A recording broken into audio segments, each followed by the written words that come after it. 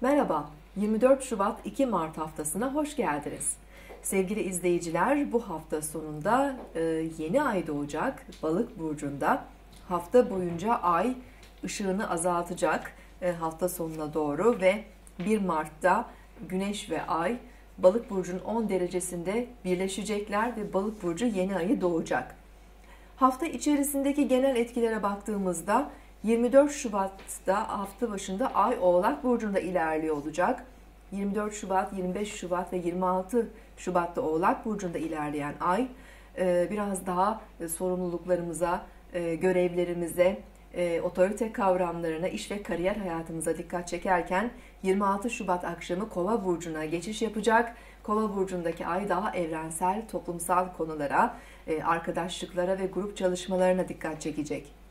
Ay 27 Şubat akşamından itibaren 28 Şubat'tan itibaren Balık burcunda olacak ve yeni ay etkileri de devrede olacak. Ve 1 Mart'ta e, sabah 10'da e, 10 derece Balık burcunda yeni ay doğacak. Balık burcu yeni ayları e, özellikle manevi enerjilerin e, yoğun olduğunu işaret eden zamanlardır. E, özellikle e, ruhsal çalışmalar, bilinç, bilinçaltı ile ilgili konular, sanatsal yaratıcılık gerektiren faaliyetler, e, çevremize karşı daha duyarlı olabileceğimiz için yardım çalışmaları e, bu dolunayda daha fazla gündemde olabilir. E, dolunay sırasında Güneş-Ay kavuşumuna Yengeç burcundaki Jüpiter'in de çok güzel bir üçgen açısı var. O nedenle çok şanslı ve verimli bir yeni ay olduğunu söyleyebiliriz. Tüm burçları olumlu bir şekilde etkileyecektir bu enerji. Ama su grubu burçlar özellikle yengeç, akrep ve balık burçları çok daha yoğun bir şekilde bu enerjiyi kullanabilirler. E, manevi enerjilerin yoğun olması nedeniyle bu yeni ayı bir arınma ve şifa fırsatı olarak da değerlendirebiliriz.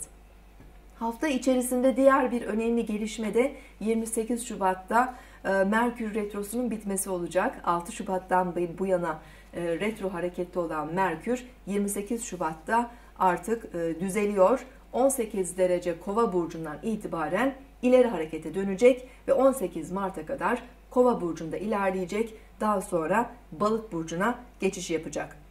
Evet haftanın genel etkileri böyle. Tabi daha detaylı bilgiler için özellikle burcunuza ve yükselen burcunuza göre yorumları lütfen dinleyin. Haftaya tekrar görüşmek üzere. Hoşçakalın.